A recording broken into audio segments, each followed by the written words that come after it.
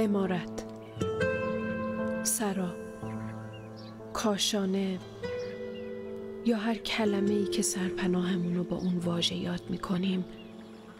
تا وقتی که امن و امان اونجا شب و روز رو طی می‌کنیم درکی از ماهیت و اهمیتش نداریم. اینکه حیات و ممات ما با این کلمه معنا و مفهوم پیدا می‌کنه. خونه صرفا معوا و محل آرامش و قرار نیست. خونه همه هویت ماست. رگ و ریشه ما از میون سنگ و چوب و خشت و گل خونه هامونه که سر بر میاره.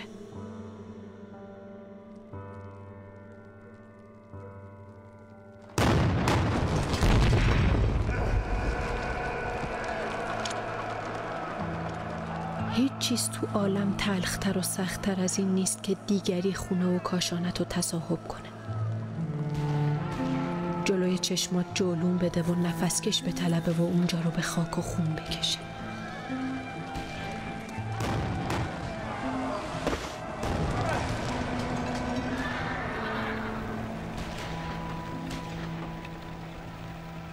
اینطور مواقع حرجی نیست که آدم همه هست و نیست و دار و ندارش رو بده تا خونش رو پس بگیره و اونو دوباره آباد کنه.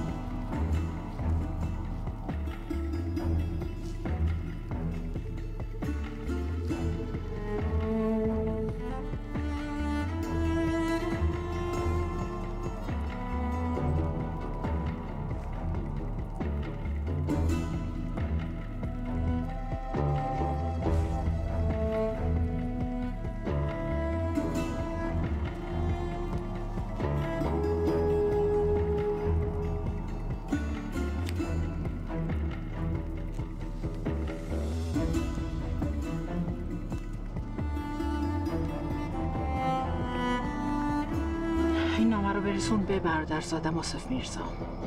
تو ایران توقفی داری نه انحرافی. چشم.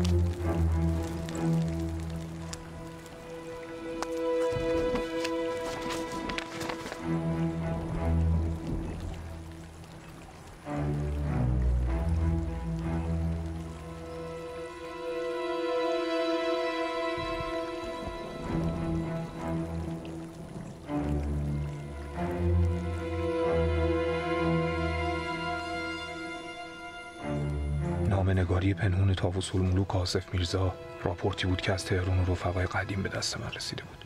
کس دیگه هم در جریان این مرقومه هست؟ خیر.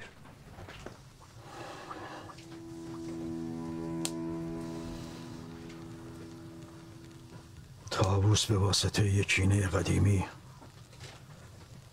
دنبال بهونه است که خاک اینجا رو به توبره بکشه. هیچ کس نباید از این مرقومه با خبر بشه. نه دوست نه دشمن. بله.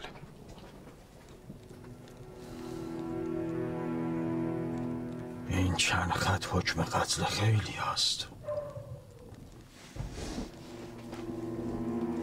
نباید بذاریم این جوی خون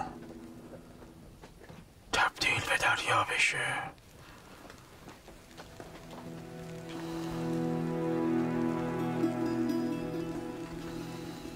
اقوال مختلفه و عقاید متکثره در خصوص مرقومه شما در ذهن پرورانده بودیم. شنیده ایم که با ما حرفی دارید و رازی که می‌خواهید در میان بگذارید. این گوی این میدان. راز دل بکشا اسماعیل.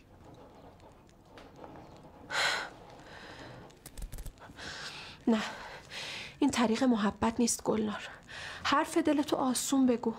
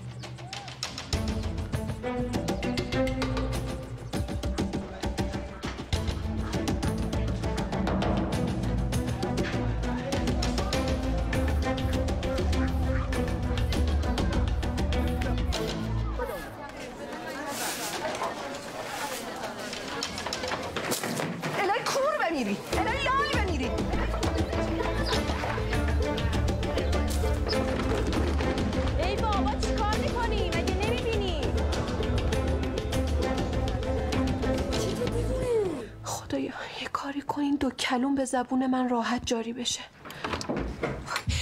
همه جمع شدن میدون روستا. چی کار می‌کنی فیروزه؟ ظاهرا فراموشت شده هرچی آداب در زدن با هم دوره کردیم آره؟ مراعاتی ادبی چیزی. به مخیلم نمی‌رسه که دختر عزیز دردونه تقی خان. توسط چند تا نامه میرشکار پدرش. انقدر بخواد آشفته بشه که با عکس خودش تو آینه حرف بزنه. ببندون درو. آدم یه ندیمه مثل تو داشته باشه دیگه دشمن نمی‌خواد. حالا ما شدیم ندیمه؟ شما شدین سربر خانوم؟ چیه؟ نکنه می‌خوای نقل این دو خدنامه برسه به گوش عمله و خدمه مطبخ و اندرونی و بشه نقل پچپچه های پای دیگشون آره؟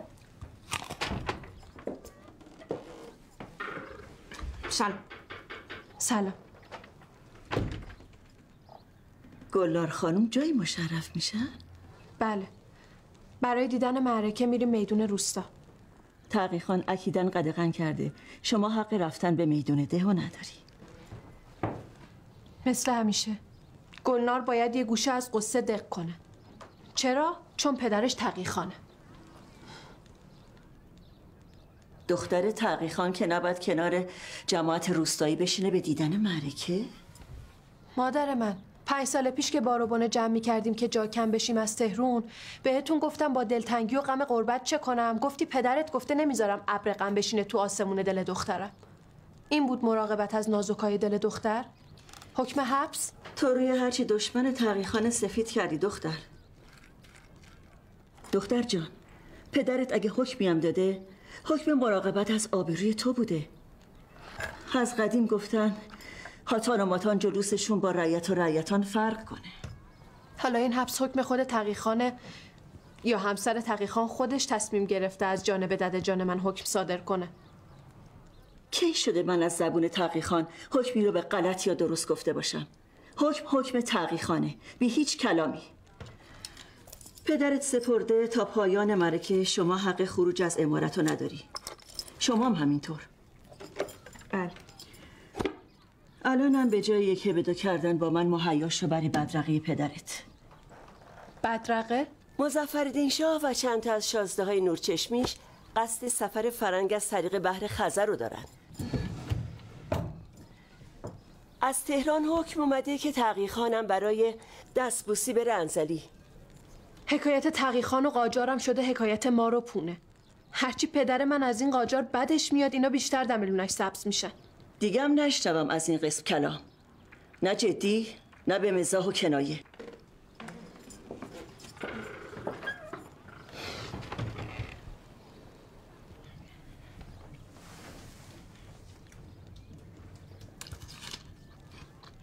بخور غذا در نیفته.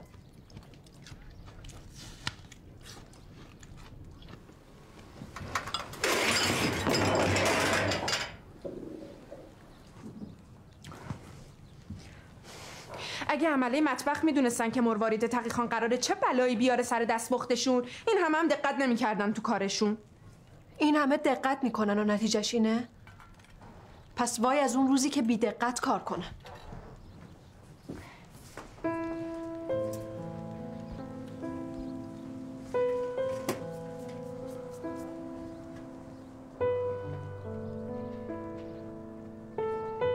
اگه نرم سر وعده اسماعیل با خودش فکر می‌کنه جواب من منفیه.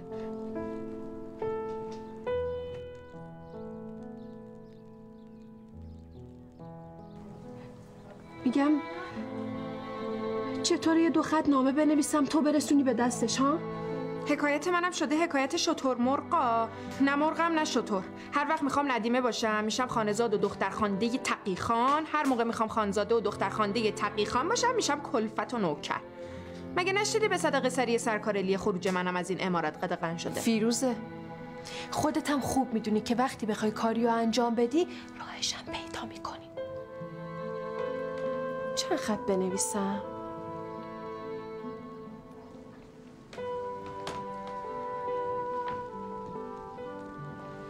می‌دونی از چی میترسم؟ از اینکه اون ایرج بینوا وقتی تو رو توی این روسری قیتون دوزی ببینه تاب و توان از کف بده و سر به کوه و بیابون بذاره. ببین چقدر قشنگه؟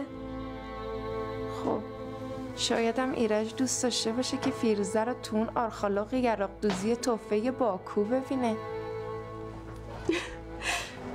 تو جون بخوا. لباس چه قابلی داره؟ تو فقط قول بده که خط منو به اسماعیل میرسونی.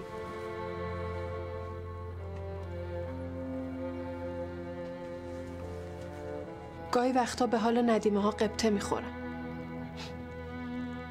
به خودم میگم خوش به حالشون.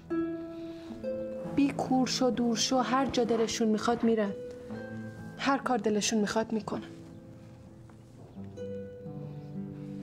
کاش منم یه ندیمه بودم. دلت با رفتنه؟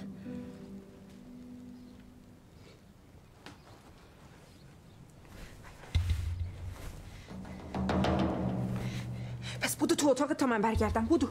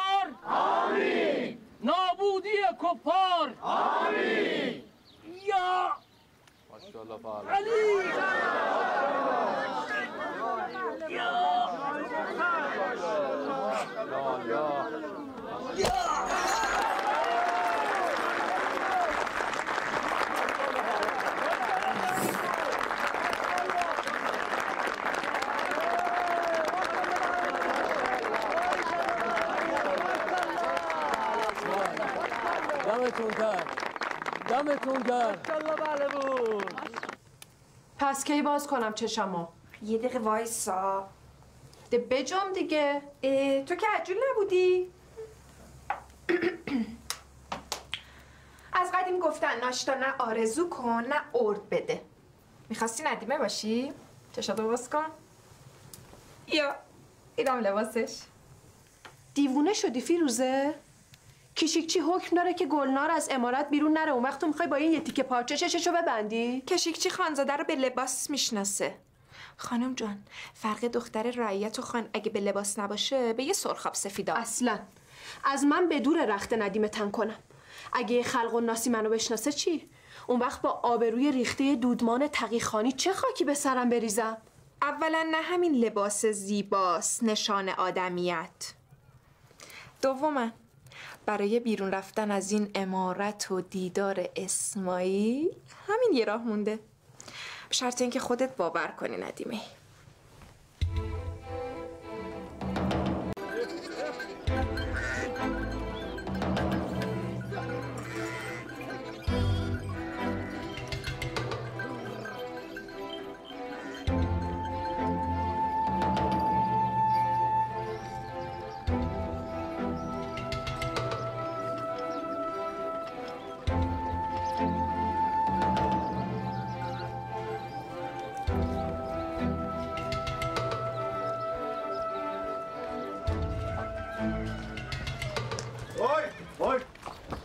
آچه فسفسی با تو اما خدا قوت کشیک چی باشی؟ آخه قوت خدا به گفت و نگفت تو نیست که ندیم بیگم. میگم چی شده؟ دست از سر پرباد این دختر تقیخان بالاخره تو برداشتی. خانم تو فروخته به چهار تا دونه میمون و خرس آره؟ اگه قرض دیدن چهار تا میمون انتر بود که خدا رو شکر اینجا حفور اون نعمته نیست که تو داری. نیش ماره. حالا ببین من که این زبون تو رو تو حلقوم دو دستی بکشم بیرون. وای تو. اینجا رفت و روب می‌خواد. ظرف و ظروف مطبخ مونده ما هم دست نداریم. دست نداریم ببرین یا خوشیتون زیادی کرده. اینجوری هویدا میشه دختر خانی. بابا تو رخت ندیمه داری مثل ندیمه حرف بزن. البته اگه می‌خوای به اسماعیل برسی. نیم ساعت هم که شده این گلنا رو بذار تو اتاق در روش ببند. ها. این ظرف و ظروف کثیفی که میگی کجاست؟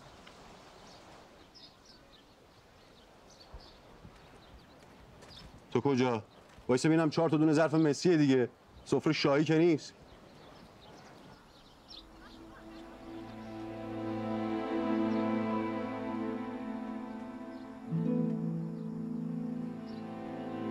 آخه این اندرونی فکستنی و چه به این همه ادا و اصول قاجاری؟ مهربان بانوی قلیونی واه واه. مثل قلیون دستلق قاجاری از این طرف به اون طرف دستورات فرمایش می‌کنن این از یمینش اونم از یسارش فیروزه ندیمه مخصوص گلنار خانم شیر برنج وا رفته خاتون. اولیا حضرتون. این دونه به دونه برنج به جور هم قد و قواره باشه پلو. بی شل و شلتوک باشه خوراک. اون همه ادویه و زعفرون و اسوال نگرون. که چی بشه؟ خوش بشینه خوراک به جاز حازمه شازده خانوم. جهاز حازمه خانم از طلا و نقره است. صفراش مشک و انگبینه. با این دم و دست به جای خون شیر زیر پوستش میدوه. حیوانی که با طبع ایشون سازگار باشه بعد از بهشت بیاد. مرغای زمینی پیف پیف پیف بوی گوشت مرغ میدم میگه غذا رو نمیشه با دست خورد. باید با قاشق و چنگال بخوری. انگار دست مال آدمیزاد نیست. مال شغال بیابونه. این دختره پرفیس و افاده تهرونی با این دماغ بزه کوهیش. این از تبار اون میرزا بیکاره هایی که با سر سفره مزفری سیر می‌شدن. حالا اشتباهی سرشون خورده به تاق سرنوشت و گذرشون افتاده به این گوشه پرت گیلا. خوبه که از اله صبح تا بوق سگ خام به فکر رعیت و ندیمه بوده. این شده دستمزدش جماعت گنگگل مطبخ نون بخورن سفره رو سیاه کنن. خوبه خوبه. واسه تو چه توفیری در عقب چی انگار از جیب عبوی تو داریم می‌خوریم. نقل عبوی من و تو نیست. نقل حرمت خان خانوادشه اولندش که برای تو حرمت داره که سر سفره اینا بزرگ شدی. دویومندش خاک بر سرم کنن. کسی پشت سر تقیخان حرفی نزده خدایی نکرده. کسی حرفی زده؟ نه. نه والا. حرف مزاج مبارکی گلنار خانم بود. که بعد قضایی اعلی حضرت تو نقل مجالسه. تقیخانه بیچاره رفته براش از مطبخ شاهی آشپز آورده. بعد هنوز خانم از غذاها عیب و ایراد می‌گیره. نوبره والا. میرزا هم دو روز نشده از دست این گلنار خانومتون سر به بیابون می‌ذاره هیچ کس نمی‌تونه جوابگوی اردای شازده خانوم باشه. چه آشپز دربار باشه چه آدم عادی. به شما هیچ ربطی نداره. کارتونو کنید بابا. برو بابا. میرزا رضا اومد. زود باشین بودوید بجنبید زود باشه سیب زمینی همه رو نگینه خورد. بریم. بودو میرزا رضا داره میره بودو بودو.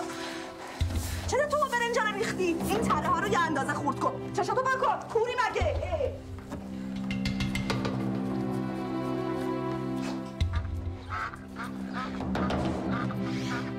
بلم کن می‌خوام اسای حساب این عمله مطبخ رو بذارم کف دستشون بسپرمشون به چوب فلک تا دیگه کسی جرئت نکنه تو این ولایت پشت سر تقی خان و خانواده‌اش حرف مف بزنه. برای این قسط تنبیه و توبیخ وقت فراوون گلنار جان. اونی که وقتش میگذره معرکه است که اگه تعجیل نکنیم هم معرکه کفت رفته و هم اسماعیل. حالا خود دانی. به من نگاه کن. من این شیر برنج وا رفتم. مرگ تو چرا میخندی؟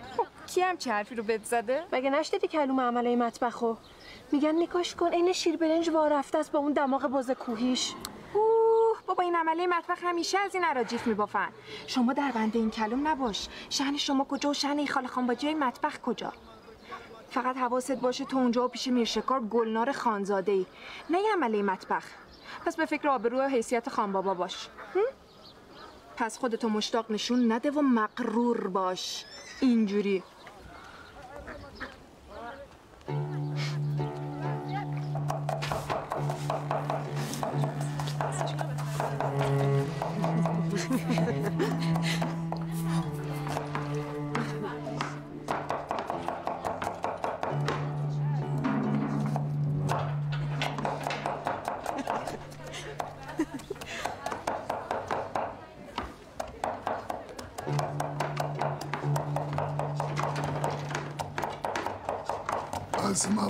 گرسنگی اینه که آدم یاد بگیرن کارشون رو درست انجام بدن.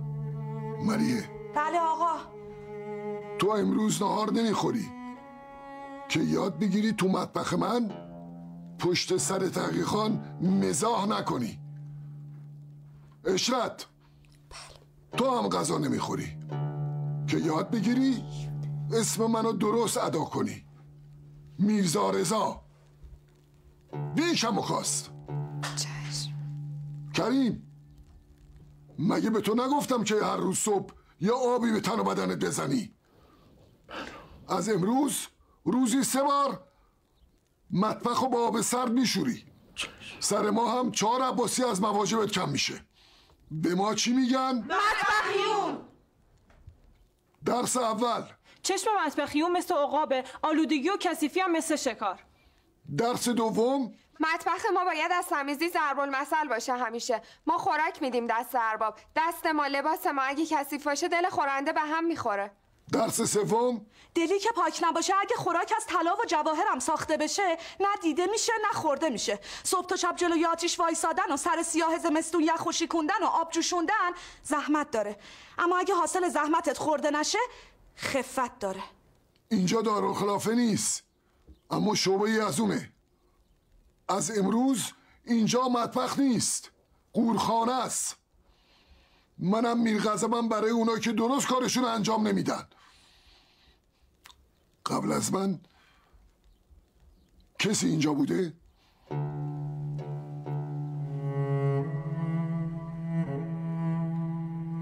حرف گلنار خانمو بعد غذایی خانزاده بود پیش پای شما. حرف آدمیزاد که بوی آدمیزاد نمیده. کسی اینجا بوده؟ فیروزه و یه ندیمه از اندرونی ظرف و ظروف کشیک خونه رو آورده بودن اینجا. الان باید سوروسات سفر تایخان رو فراهم کنیم. غذا خودکافه سنجون و ماهی شکمپر. مشغول شید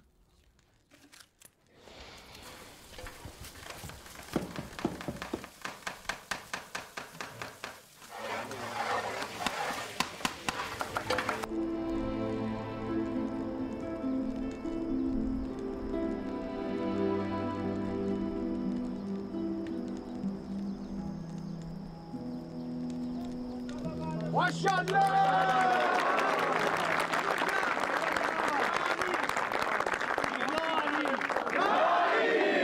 علی یا علی بگو یا علی یا علی یا علی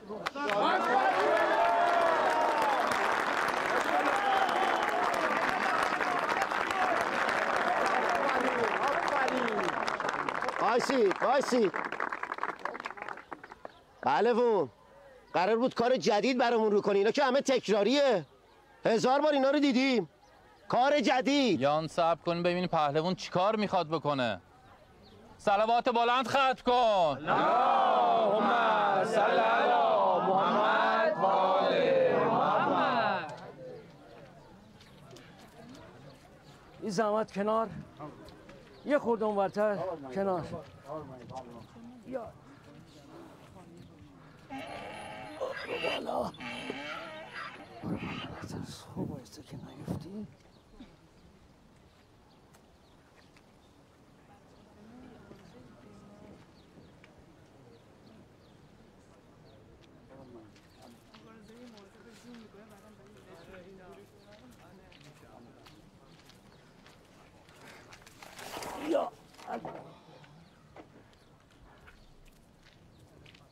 این بچه پاره تن من و همه زندگی منه. اگه سرم تو دهن شیر و تنم زیر پای فیل بود برام خیلی سهل و آسونتر بود تا اینکه بخوام به طرف جگر گوشم گله بندازم. بر چشم بد لعنت. بر خناس لعنت. بر وسوسگر لعنت. بر حسود لعنت. یا علی. یا علی.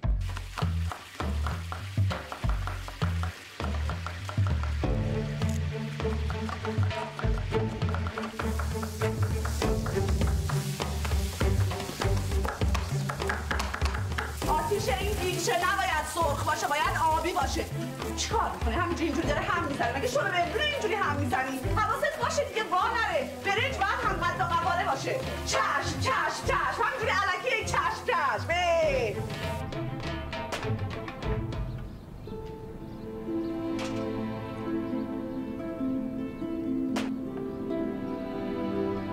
این قمپوز هر ساله پهلوونه.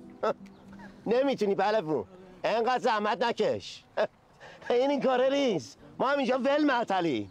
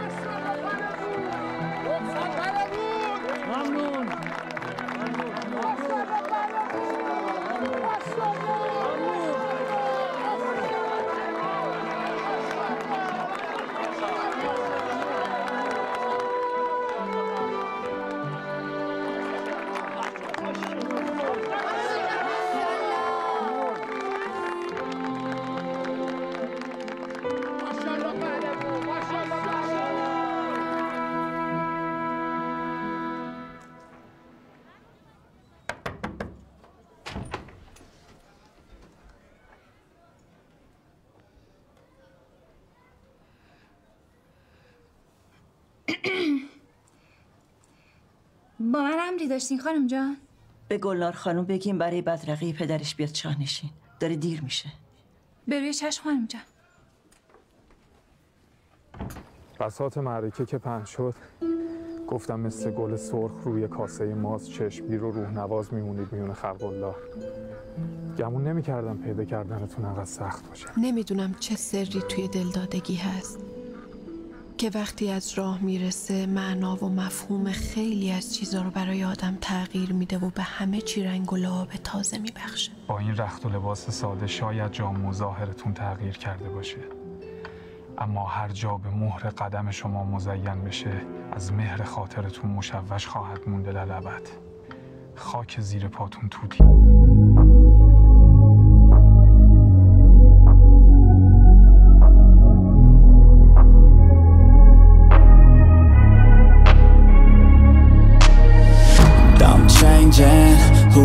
am I'm making a new plan Rearranging my life and I won't look back ever again Yeah, and you ain't see me activated You better hope that you never see me agitated I think about my actions, plan them out, evaluated That's نه چندان مشتاق تفنگ اندازی نیستم از وجنات نامتون پیدا بود که اهل سواد و مکتبی جسارتی بود. گفتم حضورا خدمت برسم برای عذر تقصیر. عذر تقصیر؟ عرضی دارم خدمتتون. نیومده بودم به قصد موندن. نه به میر شکاری یا هر منصب دیگه ای از بندی بریده بودم که مسیرم افتاد به این گذر. تقدیر بود دیدن خان و دخترش. خان امر به موندنم کرد اما موندنم نه اطاعت امر. خواست دلم بود.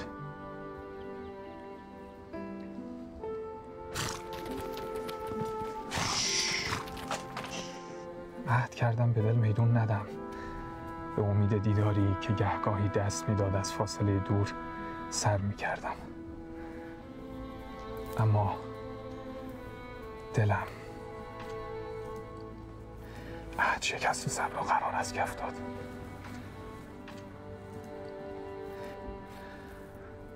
دستم به قلم و کاغذ رفت.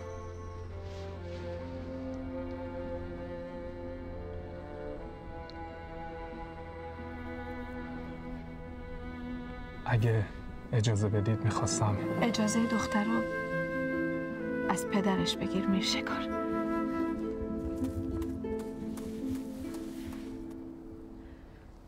پنج سالی که از دارالخلافه تهران برگشته بودیم به ولایت پدری اون ایام اولین بار بود که با همه وجودم می‌خواستم همینجا بمونم. اصلا حاضر نبودم خونم و این ولایت و این آدما رو با هیچ چیز دیگه ای توی این عالم عوض کنم. امیر نظام راپورتشون رو داده. میر شکار و گلنار رو کنار معرکه دیده. مگه خود شما هزار بار داستان عاشق و معشوقایی که واسه رسیدن به دلبرشون با هفتاد نسلشون جنگیدن برام تعریف نکردین اگه شده به چهار میخ بکشیدش کت بسته با خودتون بیاریدش. من نه جرمی کردم نه خیانتی که بخوای کت بسته تحویلم بدی. کاش می‌شد یه نه بگین خودتون و گلنار رو یه عمر آسوده کنید پدرت میر شکار رو ببینه خون به پا اون رسم که خودش ببره و خودش بدوزه. شما که نمی‌خواین گلنار رو روونه اندرون یه دربار کنید. این کاری که شما دارید با اسماعیل می‌کنید اسمش نه حکمته نه عدالت. اگه تقی خان رخصت بدن عرضی است که خدمت شما بگم.